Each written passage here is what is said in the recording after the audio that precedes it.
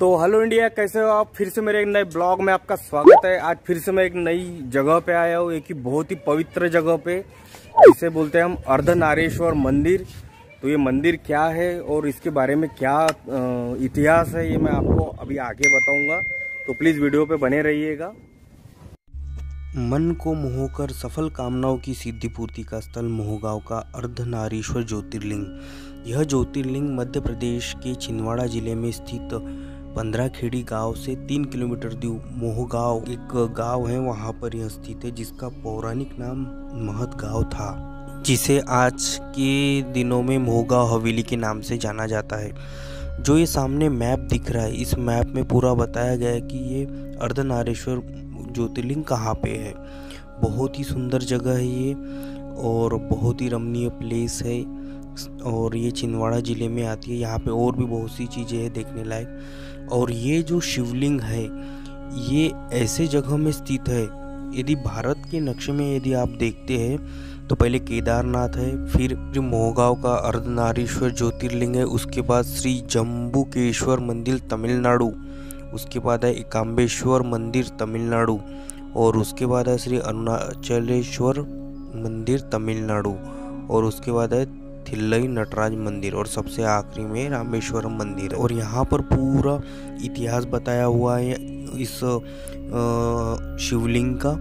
इस प्रकार से ये पूरा का पूरा एरिया है। ये जो सामने देख रहे हैं, यहाँ से अपन अंदर की ओर एंट्रेंस करते हैं। पौराणिक आधार यह है कि यह क्षेत्र दंडकारण्य कहलाता है, जो कि दैत्य गुरु शुक्राचार्य की कर्मभूमि है। दैत्य गुरु शुक्राचार्य भगवान भोलेनाथ के अनन्य भक्त थे।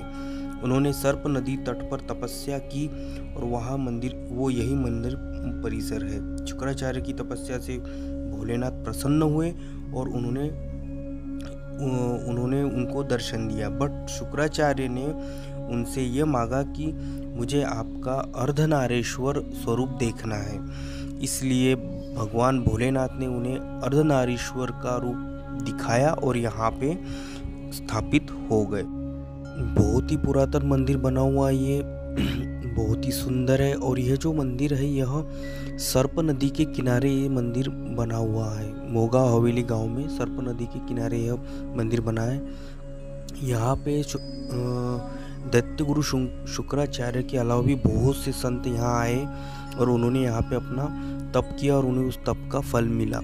यहाँ पे बहुत ही बड़ी मूर्ति बनी हुई है, जहाँ पे नंदी जी है और नंदी जी के सामने यह बहुत ही सुंदर और अप्रतिम भोलेनाथ की यहाँ पे शिवलिंग बना हुआ है।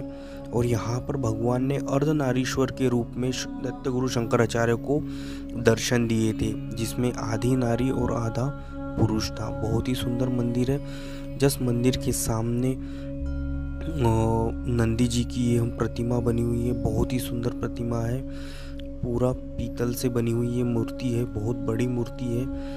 और ये जो मंदिर है, इसका तेरहवीं और पंद्रहवीं शताब्दी में जीर्णोद्धार गोंड राजा और नागपुर में भोसले साम्राज्य था। तो भोस, उन राजाओं ने इन, इस मंदिर का जीर्णोद्धार किया था। ये जो सामने देख रहे इस पीतल के इस कवच को, उस शिवलिंग के ऊपर रखा जाता है बट अपना किस्मत अच्छी कि आज आपको दर्शन हो गया ये बहुत ही सुंदर मंदिर है ये, और यहाँ पर आकर आपको एक अलग सी अनुभूति होती है।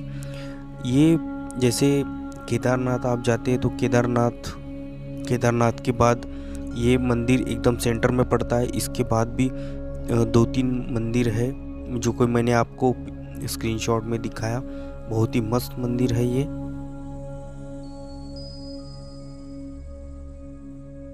गाइस ये था महादेव का मंदिर और आपको कैसा लगा? प्लीज़ मुझे कमेंट करके बताइए और कमेंट में हर हर महादेव लिखना मत भूलेगा।